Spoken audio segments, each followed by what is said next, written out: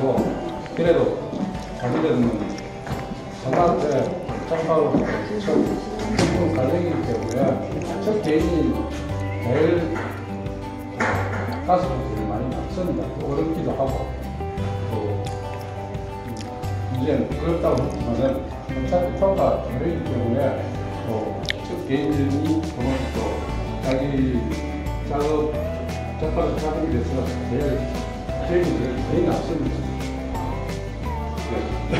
문경들 첫 개인적 오픈식을 시작하겠습니다. 다들 아시는 분이니까 이웃에도 아실 거고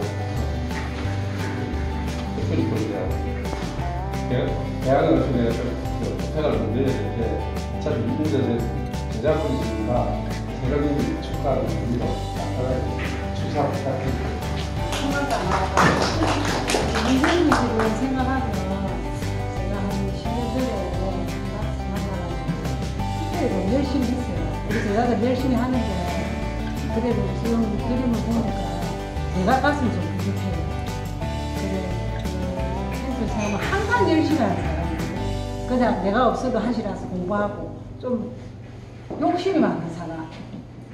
그래 그게 이렇게 그 시발점 돼가지고 이렇게 화려하게 전시하게 된 것을 진심으로 축하합니다. 앞으로 더 열심히 해가지고 윤경순 씨가 원하는 뭐라 해야 돼 접목 해가지고 할 수 있는 거를 널리 알 수 있는 사람이 됐으면 좋겠습니다. 감사합니다. 제가 그 여기 아, 예를 들어서 제가 말씀을 드리고 싶으면 그 화가하고 작가하고 구분이 되는 단계들이 있습니다. 네, 화가라고 이제 요즘 말하면 일반적으로 그냥 그림 그림만 거라 제작에 대한 문제를 저는 말을 하는 거야. 작가로서 한다면 개인 레벨치 작품 이용이 있어야 되고 또 자기 작업에 대한 정체성이 있어야 되고요. 거기다 생각하면은 어, 작가로서 사실 책임까지 조금 못해주면은 더할 나이가 없고요. 저도 일단 느꼈지만은 열심히 하시고 하는데 담보의 말씀을 드린다면은 지금까지는 많은 걸 배웠는데 이제는 아마 그때까지 많은 걸 배하게 됐다면 앞으로는 아마 자기 개별적 작업 내용을 가지고서 빼기 작업을 해야 됩니다.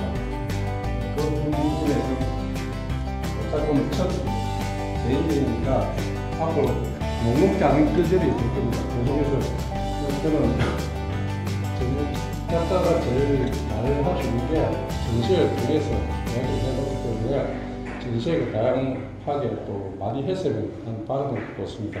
그첫 가문인데 문경은 쌤 인사 말씀 듣겠습니다.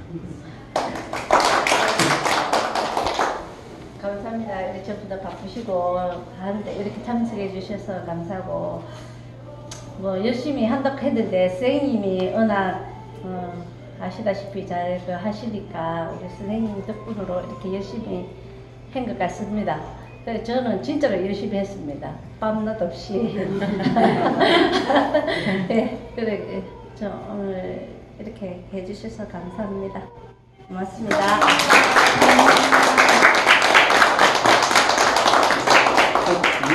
개인전이고 그다음에 어, 그동안 또 수고하시다 윤자 쌤 생각하시면서 굉장히 박수 한번 부탁드립니다.